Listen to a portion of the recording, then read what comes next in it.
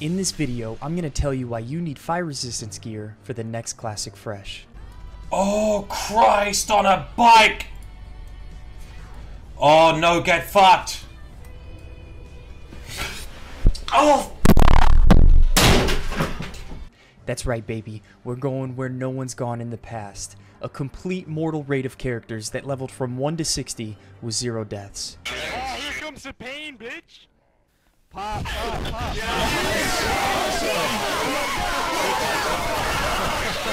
Now, hitting level 60 is half the battle, and then comes the gearing, mat farming, and theory crafting to actually pull off a one life Ragnaros kill. How far will you risk it to gear up before Molten Core? Will you step foot into instances like Scholomance and Stratholme, or just choose to gear with open world greens and boss drops from BRD? And then once we get into Molten Core, we're going to actually need a fire resistance set. I remember before Classic WoW's release, uh, people had fire resistance sets that they planned to have before Molten Core, but in reality, no one really needed it. If you suffered a few deaths on the boss fights, it didn't matter. But this time around, we can't afford any deaths. So I'd like to go over my thoughts of what a reasonably obtainable fire resist set would look like for a bear druid tank and don't be afraid to share your thoughts on my choices for this gear in the comments below and please share your own set of gear for mages, hunters, rogues, maybe a warrior tank, a healer FR set.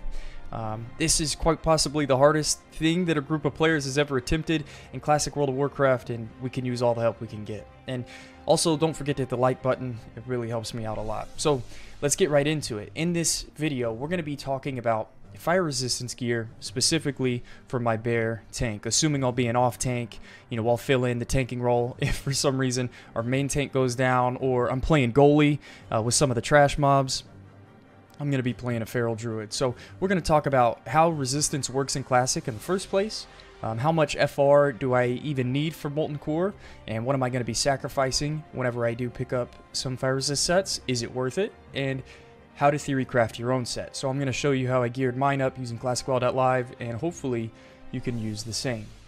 So first off, let's look at how it works. Um, the average percentage of damage resisted is the weighted average of resistance percentages for each level of damage resistance. Now, this sheet I found on WoWWiki is against level 50 mobs. I'd like to see a list against level 63 mobs. I'm not sure who has that data, who can pull it, but this is basically how it works. Um, even if you have full fire resistance gear, there's always a 1% chance that you could take full damage. And so we're trying to look for the threshold of how to take, you know, absorb 75 or 50% damage. Um, and with this list, you can see 250 FR against the level 50 mob would add up to about a 70% chance or 85% chance to take 50% damage or less. Um, and so this is just a simple breakdown. Uh, we'll have some big brains come in and theorycraft what we really need, uh, but you can use this list to kind of give you an idea of how the fire resistance works. So you could take, you know, at any point in time, a full fire volley from the mobs after Baron and just get one shot, even if you have full FR gear on. So how much fire resistance gear are you going to put on and sacrifice stamina, your survivability, your DPS, you know, whatever role you may be in. And so the next thing I'd like to look at is our fire resistance cap and how to obtain it. So the cap is 315. Um, some the other ways that we can get fire resistance other than gear, uh, all of it is listed right here. So whether we're going Alliance or Horde, we have Shamans and Paladins giving us 60 FR. Um, Juju Embers give you an additional 15 fire resistance. You can stack that with nearly all the buffs. It might override some other Juju, but uh, if you're stacking for fire resistance, you can count on this one for 15. There's a Cloak Enchant that's available. Uh, you just got to go to Ultimate and get that. We'll have somebody in-house you know, like a guild enchanter. Hopefully he doesn't die off. Enchant everybody's gear with 7 FR. We've got the shoulder enchant for 5 FR. I'm pretty sure that's Argent Dawn reputation. Um, and then the head and leg Librams give you 25 resistance each. And so in a hardcore world environment, one life environment, these Librams, I think they drop out of Blackrock Depths. And so we're going to need a farm BRD as a guild, you know, five-man groups. Maybe we could have like some mages AoE farming in BRD uh, just trash pulls. You never know, but we're going to need head and leg Librams for 20 FR, and then we can get the one hour Upper Blackrock Spire buff, where you mind control one of the spellcasters and they buff you with 81 or 83 fire resistance. So I think once you add all this up, it's roughly 12, 52, it's over 200 fire resistance. So the 315 fire resist cap, you're only going to need uh, maybe 150, 160 FR on your gear. And if you were to have all of these things, you could be FR capped, which is nice because you don't have to sacrifice your stamina pool. You know, you don't have to sacrifice a lot of DPS. Um, and so whenever I'm looking at this list, I want to go over how I pick this up. So I'm using a tool, ClassicWow.live. Their gear planner is really nice um, for things like this. Real quickly, I can just, um, assuming we're going to go Alliance, I'm going to go Night Elf, Druid, Bear, level 60, in Phase 1. Um, and whenever I'm looking at headpiece options, I like coming over here on resistances, sorting my sats to fire res, um, and then as a tank, prioritizing. Um, I'm not sure how the weights work exactly, but I'm just going to come over to resist, fire resist. We're going to weight it onto 10. Let's calculate that. You know, any big brains in here. Now, whenever I, I'm looking for the best tank with fire resistance in mind, um, I have this entire list here. So as you can see, we have a Molten Helm. You know, maybe your main Bear tank is going to have this. You farm mats and Molten Core for a little while.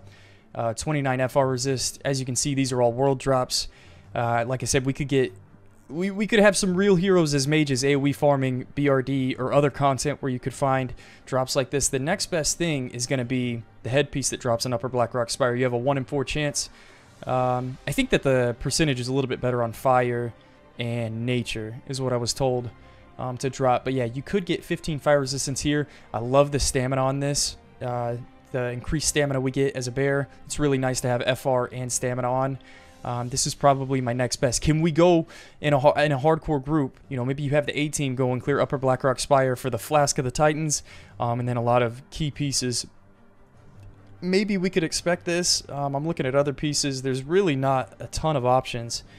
Um, we can say tribal war feathers. So this is how you can go through the list. Uh, you can do this with each item. I'd like to show you a list that I have already. This went ahead and got me 169 fire resist. I was feeling pretty good about this. Drake Fire Amulet. We could do the Ony attunement as a guild. You know, a hardcore guild, one life. Uh, I think we could pull this off with zero deaths. Um, I think that it just requires a few Upper Blackrock Spire clears uh, nothing too crazy, but that's 10 FR right there, or 10 stamina, 15 FR. I love that. The volcanic set. This is really nice. Check this out. If I show you the volcanic shoulders um, and the options, yeah, we're looking for fire resistance, tanky. How much fire resist gear can we get? Let me make sure that the fire resist is weighted better on this one. So look at what we've got. It shows you the we're not going to get Temple of Atal'Hakkar. These are random rolls. Look at how many rolls you can get here. And I swear the resistances, they never roll. Um, these aren't... Can't really expect this to come. Look at all these world drops within Volcanic Shoulders. They're crafted. Uh, they're pretty easy to pick up. 18 fire resist, 167 armor. Now look at like Wormtongue Spalders. These are really nice. 23 agi, 10 stam. Um, what's high stamina? Yeah, I mean, something, an item that comes out of Stratholme has 132 armor, 10 stamina. But Volcanic Shoulders, where were they? Crafted. They have 167 armor. So in bear form, you know, you're getting that 360 armor per contribution.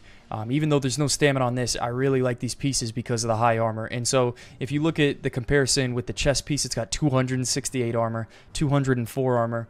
Um, the dungeon drops with just stamina, they have significantly less armor than these pieces. So I'd like to pick these volcanic pieces up. Um, the Wildfire Cape drops off of the first boss in Upper Blackrock Spire. I think we could get that. This Hurley's Tankard my main hand and offhand. I've got Magma Stone.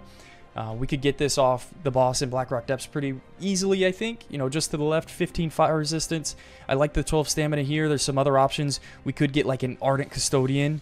Um, I'd probably wear a Warden Staff if I picked it up. But I think an Ardent Custodian or this Rubidium Hammer it's uh, it's a really low drop off of the second to last boss in BRD, the 120 armor. I'd probably prefer that, but I'm probably not going to get it. In Ardent Custodian, you know, if we have hundreds, thousands of players in this war effort, maybe we get an, uh, one or two of these drops in the open world. Um, but realistically, probably going to pick up Rubidium Hammer. The Coal Miner Boots, this is from BRD as well.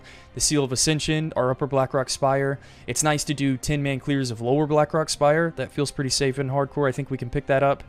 Um, the flame reflector, I really like this item. You got to be an engineer to pick it up. So the fire volleys on the trash after Baron Geddon. This could be extremely useful. And then Ward of the Elements. I think I tracked this down. This looked like a quest that would be possible in a hardcore environment. But this got me to 169 fire resist. And if you add up everything on our PowerPoint a second ago, 169 plus, I think this is over 200. Yeah, 315 is our cap. If we were to stack all of these, um, it only takes, you know, those amount of fire resistance pieces. And it might be more optimal to fill in the hands, the waist uh, with other pieces, but um, this is what I came up with. Uh, I think that it's fairly obtainable. Maybe you can put together a list. Tell me your thoughts. Uh, You know, maybe you're playing a mage, a hunter, a rogue, a healer. Uh, maybe you're a warrior tank. Why, put together your own fire resist set. Share it with us down below, and hopefully, as a community, we can take down Ragnaros with one life. Um, it's going to take a lot of big brains, man. It's going to take absolutely everyone to pull this off. But you can do this. Um, check out ClassicWow.live. Uh, the last slide, I just want to mention these are big drops, and so we're looking for that Libram of Resilience. We're looking for leatherworkers and gatherers in our guild. You know, as a hardcore community, you can only trade in-house. Once you hit level 60, you can only use your other hardcore level 60 players who only have one life. So, I mean, it's here today, gone tomorrow. We're going to need leatherworkers. And then our main leatherworker, he's going to die, and we're going to need the other recipes for the other volcanic uh, breastplate pieces. But the, the Libram of Resilience, it only drops in Blackrock Depths, and I really like the idea of having like a three-man mage squad and maybe a healer just clearing trash all day, every day, uh, before, you know, weeks before we attempt this one life Ragnaros. Maybe 8 to 12 weeks is whenever we could expect to take down Rag. And so the first couple weeks we could have this new mage AoE farm meta with one life on the line, and these Librams of Resilience would be massive drops. So that's my thoughts. Thanks for hanging out, guys. I hope you found this information interesting, and maybe you'll join us in the race to Ragnaros, the, the road to Ragnaros, rather. One life. We'll see you guys in the next one.